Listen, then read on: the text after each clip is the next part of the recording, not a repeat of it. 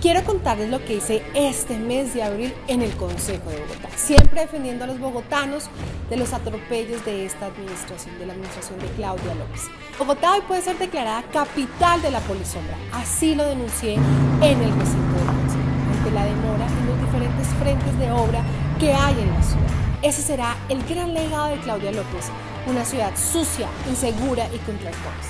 Claudia López un caos total en la ciudad? No fueron capaces. La movilidad es una prioridad y con el proyecto del corredor verde por la carrera séptima que la alcaldesa pretende licitar e impulsar va a condenar a la inmovilidad a esta ciudad. He salido a la defensa de este importante corredor vial que no solo es estratégico, sino que tiene un valor histórico enorme para todos los bogotanos. Por eso me he reunido con ingenieros, con arquitectos, que aseguran que el subsuelo de la carrera séptima no resiste el peso de lo que pretende construir la alcaldesa.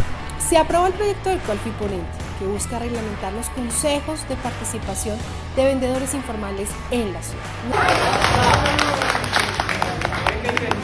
sin hacer un llamado de atención al director del IPES para que realice un censo de vendedores informales, porque actualmente la entidad trabaja sobre unas cifras y el DANE tiene otras. ¿Cómo organizar una política pública sin siquiera saber a qué se está enfrentando? Los colombianos estamos cansados de la improvisación y la mala gestión de Gustavo Petro como presidente del país. Estuve con cientos de ciudadanos en las calles marchando contra las reformas que este gobierno presentó y que quiere que se aprueben a las malas en el Congreso de la República. Un llamado a dejar la soberbia de lado y a escuchar a la ciudadanía.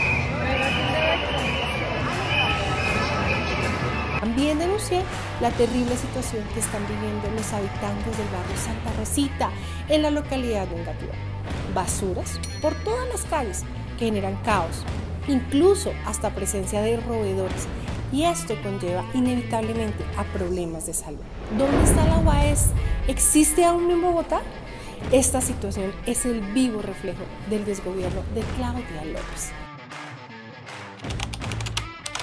En Diago Soluciona me reuní con los habitantes de la localidad de Fontibón y escuché sus necesidades, piden soluciones para mejorar la seguridad y que se haga algo con las vías de la calle 13 con carrera 116. De igual forma, me reuní con los residentes del barrio Guaymaral en la localidad de Suba. Están cansados de los cortes de luz intermitentes que se presentan en el barrio y de los múltiples hurtos que han sido víctimas. Además, gestioné compromisos con Mayavial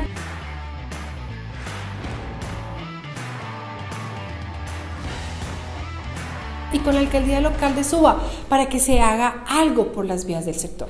¿Cómo te pareció mi gestión? No olvides darle like y compartir con todos tus contactos.